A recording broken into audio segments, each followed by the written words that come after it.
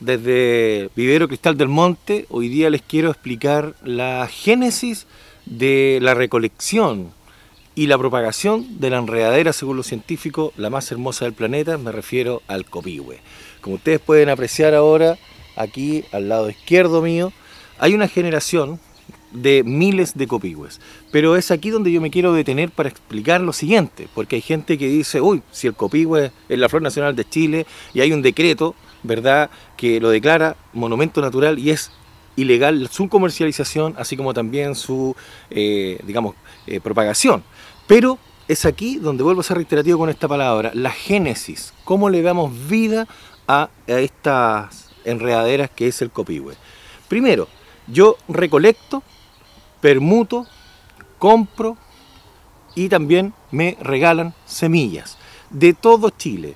Esto es gracias a una investigación de más de 18 años donde ciertas personas que han adquirido copihue de este vivero Cristal del Monte, pero así como también han adquirido de otros viveros hace más décadas atrás y son árboles que son copihue que ya tienen muchos años, también hay personas que hace más de 105 años los sacaron de su hábitat natural por mugrones y los llevaron a sus casonas. Entonces, quiero explicarle un poco la génesis, insisto, de la recolección, la compra, la permuta y la donación de estas semillas. Porque es muy importante que ustedes sepan que estas semillas de estos copihue fueron rescatadas. No fueron sacadas de un parque nacional, de un santuario de la naturaleza, de sus bosques donde existen árboles nativos o bosques nativos, no.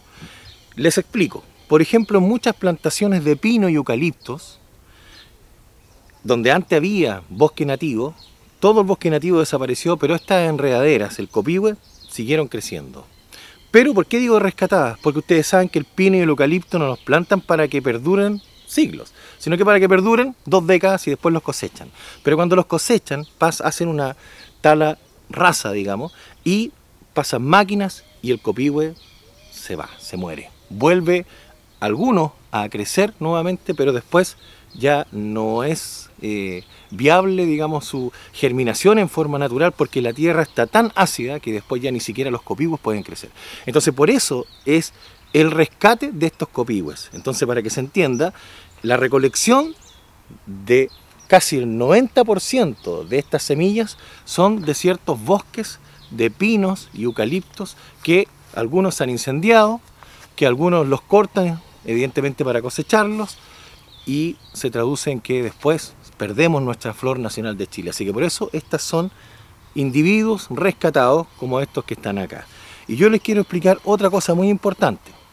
Aquí yo tengo diversos colores, que esto es gracias a una investigación, tanto en Temuco, en Osorno, en Copquecura, que estoy muy agradecido a una linda familia, que es la única familia que me hace una donación.